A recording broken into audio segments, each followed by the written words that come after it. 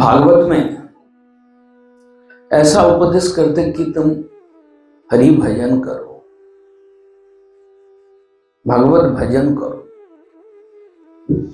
ऐसा क्यों कहते हैं बार बार कई जगह पर सुखदेव गोस्वामी बोलते हैं, सुध गोस्वामी जी बोलते हैं, नवजोगेंद्र ऋषि के घर पर यज्ञ स्थल पर आए।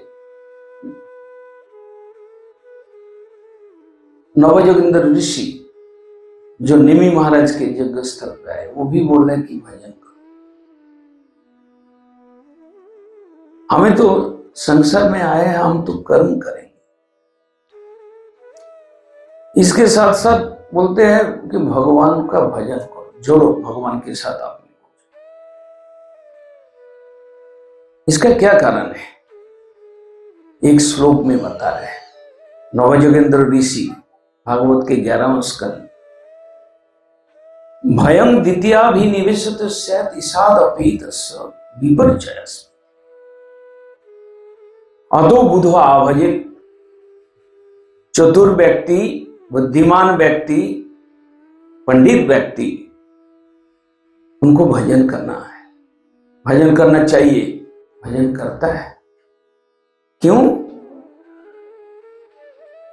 विपर्जय स्मृति ईसाद अपीत हम ईश्वर से बिछोड़कर यहाँ आए। ऐसे यहाँ घूमने नहीं आए। चाहे लंदन में हमारा जन्म हो, चाहे हमारा अमेरिका में जन्म हो, चाहे कनाडा में हो। लेकिन हम कर्मवश होकर इधर आए। कर्मों के चक्कर में हम क्यों पड़े? ईसाद अपीत भागवत डिक्लेयर करते हैं। हम किसी समय जब हम अस्तित्व में आए, जब हम जब हम स्वतंत्र रूप से पैदा हुए, जब ईश्वर के अंश के रूप में जीवात्मा का प्रादुर्भाव हुआ, उसी समय कुछ डिफेक्ट हमारा अंदर आया। हमारा अंदर स्वतंत्रता इंडिपेंडेंस जो ईश्वर के अंदर पूर्ण रूप से है उनके अनुअंश होने के कारण हमारा अंदर स्वतंत्रता आई। उससे हम क्या किए? उसका सदव्यवहार तो नहीं किया, उसका दूर उपयोग किया। मैं भगवान से अलग हुए। ईसात अपीतस। ईश्वर से दूर गए। ईश्वर को छोड़े। ईश्वर से अलग हुए। ये भागवत का शब्द है, ईसात अपीतस। ईश्वर से तुम दूर चले गए। क्यों गए? हमारा वो स्वतंत्रता ही वो कारण है कि हम स्वतंत्र सुख भोगने के लिए, हम, हमारा इच्छा हुआ कि प्रभु तो है, प्रभु अपना जो कर्म कर रहे हैं, प्रभु अपना जो भी लीलाएँ कर रहे हैं, जो भी करने दीजिए, लेकिन मैं थोड़ा सा अलग होकर देखता हूँ। भगवान से अलग होकर, भगवान से दूर जाकर हम स्वतंत्र भोग वासना किया, हमारा अंदर भोग वासना आया। ये वासना जो है, वही कारण है मेरे को यहाँ पर लंदन में मेरे को जन्म दे दिया। घुमा रहे चौरासी लाख जन। हम कर्मो तंत्र हो गए। काल गति के स्रोत में हम आ गए। एक काल गति का स्रोत है, एक कालातीत वस्तु। हम जब काल गति में आ गए, उसका आने का एकमात्र कारण है ईश्वर से बिछो।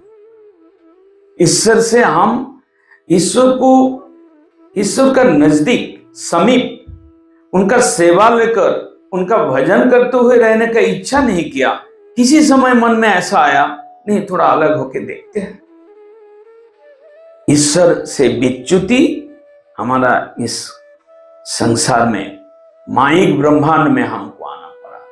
ये माया का सृजन, भगवान का शक्ति, माया देवी, ये ब्रह्मांड को सृष्टि किया।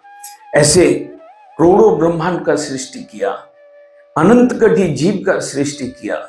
जो ईश्वर से रहना नहीं चाहते तो इधर आओ, इधर सब कुछ सामान मिलेगा। जब बच्चा, माँ, बच्चा का जीवन है कभी कभी माँ को, बच्चों को छोड़कर काम में जाना पड़ता है, रसोई में जाना पड़ता है या घर का कोई काम करना। तो माता क्या करते हैं? खिलौना, झुमकी, ऐसा कुछ जो हिलाने से आवाज़ होता है तो बच्चा को सामने रख देता है। इसको देखो, आवाज़ को सुनो। बच्चा देखता है तो एक नया आवाज़ है, ये तो अच्छा आवाज़ है, ये तो आकर्षक आवाज़ है। जब बच्चा उसमें थोड़ा सा अट्रैक्ट हो जाते हैं तो माता को अच्छा मौका मिल जाता है कि इसको कुछ खिलौना दे देते हैं, कुछ टाइम खेलता रहे और मैं तब तक अपना रसोई का काम हो चाहे कि इस काम को संभाल लेता। यही चीज़ हुआ। भगवान से अलग होने के कारण हमको माया देवी के अंडर में डाल दिया गया।